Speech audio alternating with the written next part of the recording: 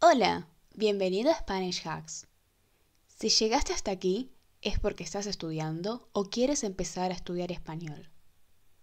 Es importante que recuerdes que para aprender un idioma necesitamos conocer el nivel que tenemos en él. Es por eso que cada video tendrá su nivel de dificultad en la descripción. Así puedes aprender de acuerdo a tus conocimientos sin frustrarte.